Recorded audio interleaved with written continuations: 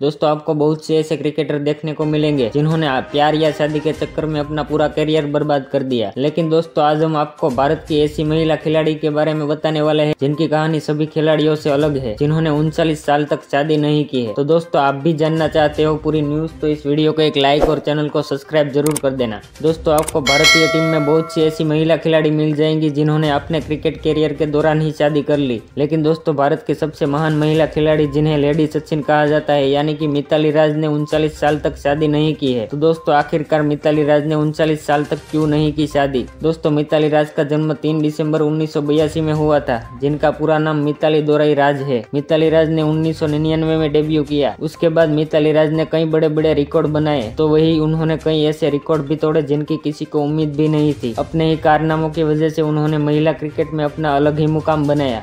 मिताली राज मैदान पर जितना बल्ले से आग उगलती दिखाई पड़ती थी उतना ही वो अपनी निजी ज़िंदगी में शांत रहती थी उन्होंने कभी भी किसी को भी अपने प्राइवेट लाइफ में घुसने का मौका नहीं दिया मिताली राज अपना सारा फोकस क्रिकेट पर रखती थी उनचालीस साल के होने के बाद भी उन्होंने शादी नहीं की। और जब भी उनसे इस बारे में सवाल किए गए तो उन्होंने हमेशा इस बारे में खुलकर नहीं बताया। दोस्तों, एक इंटरव्यू के दौरान जब मिताली राज से पूछा गया कि आप अपना पूरा समय सिर्फ़ खेल पर देती है, आप शादी कब करेंगी तो मिताली राज ने इस बात को इग्नोर कर दिया। लेकिन बहुत पूछने के बाद मिताली राज ने जवाब दिया कि कुछ दिन तक मैं रिलेशनशिप में थी, फ़िलहाल मैं अकेली हूँ और मेरा पूरा फोकस सिर्फ़ खेल पर है। आगे मिताली राज ने कहा की शादी तो मैं कर लेती, पर जब भी मैं शादीशुदा लोगों को देखती हूँ तो मेरे मन से शादी करने का ख्याल निकल जाता है और इसी के चलते मैंने सिंगल रहने का फैसला बना लिया। दोस्तों, आपको बता दें कि मिताली राज उनचालीस साल की हो चुकी है और उन्होंने 8 जून 2022 को क्रिकेट जगत से संन्यास की घोषणा कर दी। लेकिन दोस्तों, अभी तक मिताली राज ने शादी नहीं की है। तो दोस्तों, क्या अब मिताली राज को शादी कर लेनी चाहिए या नहीं, हमें कमेंट में ज़रूर बताना। वीडियो अच्छी लगी हो तो चैनल को सब्सक्राइब ज़रूर कर देना। वीडियो देखने के लिए धन्यवाद।